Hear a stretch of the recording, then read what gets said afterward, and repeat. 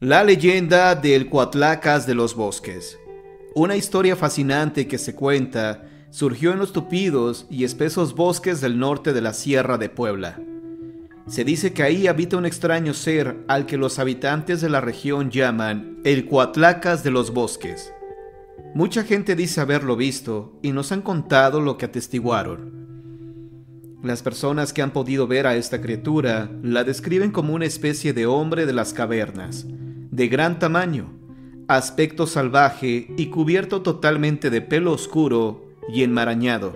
Su estatura, según se dice, rebasa los tres metros y su comportamiento es sumamente hostil contra todos los intrusos que van a los bosques con la finalidad de talar árboles para el comercio de madera. Esta leyenda comenzó a circular después de que unos leñadores partieran, como cada ocasión, hacia las espesuras de la sierra a bordo de un camión. Era de noche. La luna llena iluminaba los árboles con un tenue tono plateado. Se dirigían al sitio para talar árboles cuando de pronto escucharon fuertes rugidos que no parecían de felinos o de algún otro animal salvaje, de los que comúnmente andan en los bosques y los montes. Más bien parecían ser como de un gorila o algún otro animal similar. No obstante, continuaron con su viaje, pues ya estaban acostumbrados a lidiar con los animales salvajes. Poco a poco se fueron internando más y más en la espesura del bosque. Al llegar al lugar donde iniciarían su labor, descendieron del camión con grandes sierras y cortadoras de motor para talar los gruesos troncos. Los temibles gruñidos aún se escuchaban. No solamente se cuidaban de los animales, la operación que llevaban a cabo era ilegal, así que debían estar alertas también de los guardias forestales, pues sabían que estaban arriesgándose al talar la madera en esa zona. Esta era la razón de que se encontraran trabajando de noche, protegidos por las sombras.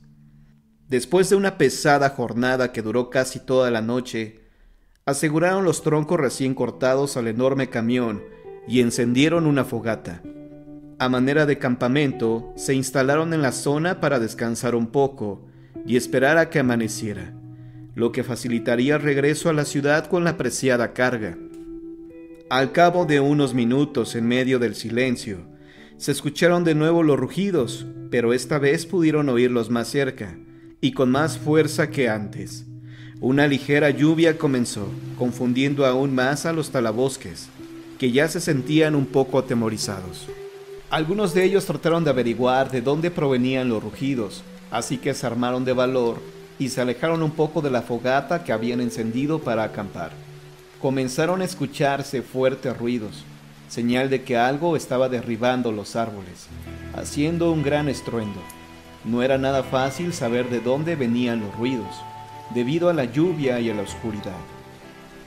Tal como en una película de horror, un relámpago iluminó el cielo mostrando la imponente figura del Coatlacuas. El monstruo apareció enfurecido, derribando todo a su paso. A unos 10 metros de distancia de donde se hallaban los asustados leñadores, se detuvo, mirándolos de una forma enigmática, tal como si le reclamara el haber profanado sus dominios. Con impresionante fuerza, el extraño ser solo con sus manos arrancó un enorme árbol, mismo que levantó sobre su cabeza para después arrojarlo sobre el camión, dejando totalmente aplastada la cabina. Volvió a rugir con toda la fuerza que le era posible y trató de arrancar otro árbol. A pesar de estar estupefactos con el horrible espectáculo que estaban presenciando, algunos leñadores comenzaron a dispararle al cuerpo. Otros optaron por correr dejando abandonada la carga. Al final, mirando que no podían dañar al monstruo, todos salieron despavoridos, mientras que a lo lejos se escuchaban estruendosos rugidos del cuatlacuas y también los golpes que propinaba el ya aplastado camión.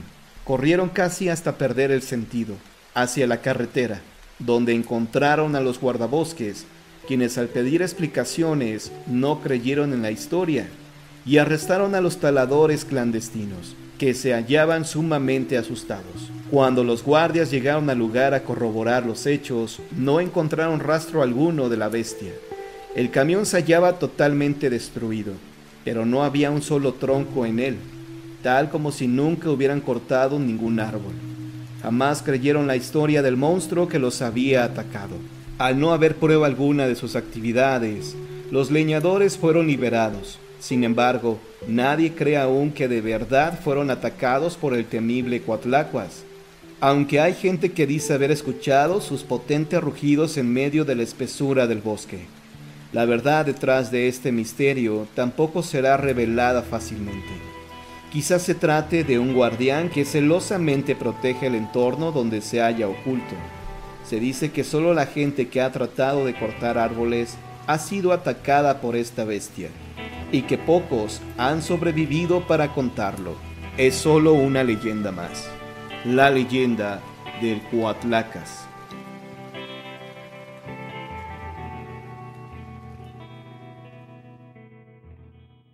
Bien amigos, ahora pasaremos a unas historias que ustedes amablemente han compartido en el grupo de la familia Misterio 2019.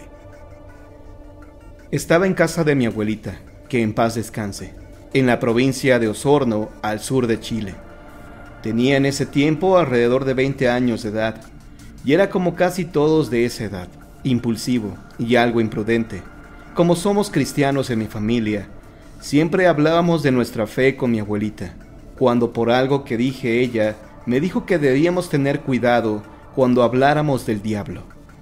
Entonces, imprudentemente dije que al ser hijo de Dios, Él no se podía enfrentar a nosotros, y que se presentara si era tan poderoso. Mi abuela me regañó y me dijo que no hiciera eso, a lo que no le hice caso, y seguimos con la rutina diaria. Días más tarde al acostarme me dormí inmediatamente, pero después de un rato escuché claramente unos pasos. Estos se sintieron caminar sobre el techo, hasta pararse justo sobre mi cama. Sentí un miedo horrible. De pronto esta entidad saltó hacia el patio de tierra del gallinero. Entonces tomé mi cuchillo y linterna, y salí corriendo de la pieza convencido de que encontraría a alguien, pero no había nadie.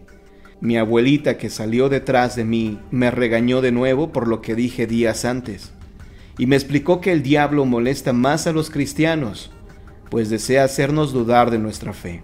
Y contrario a lo que muchos piensan, los cristianos creemos más en estas entidades de lo que creen, pues si creemos en la bondad de Dios, no podemos negar en la maldad que proviene de Él. Y si un cristiano lo niega, no es en verdad un cristiano al menos no un cristiano instruido. Esto es solo para su reflexión. Tengo un primo que es taxista, solo trabaja en turno nocturno y es muy demandante. La compañía de taxis que maneja es económica y hace servicio muy seguido a las afueras de la ciudad.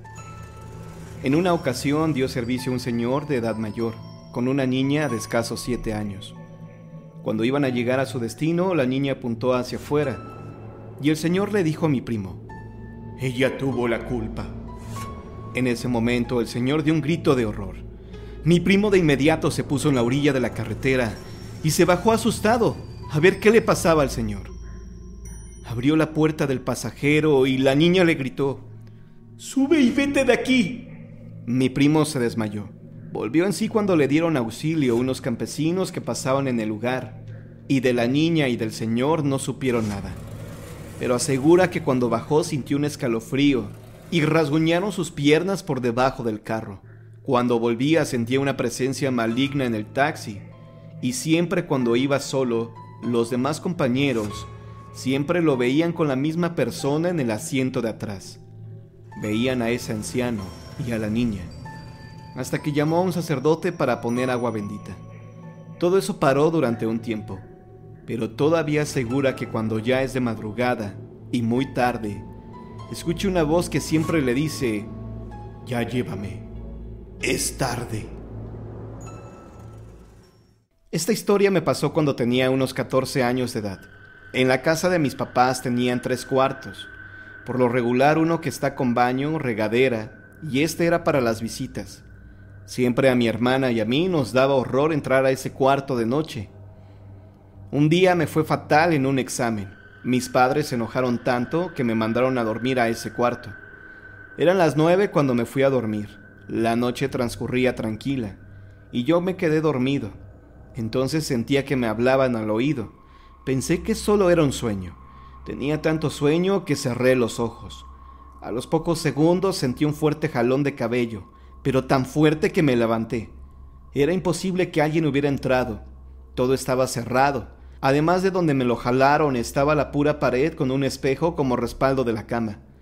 No pude dormir en toda la noche hasta que salió el sol. Siguiente día tendría que pasar la noche de nuevo en este cuarto. Aunque les había contado a mis papás de eso, no me hicieron caso. Pensaron que solo quería que me levantaran el castigo. En la noche, ya al acostarme, dormí de nuevo, unas dos horas. Desperté. Sentía que en mis pies algo jalaba mi cobija.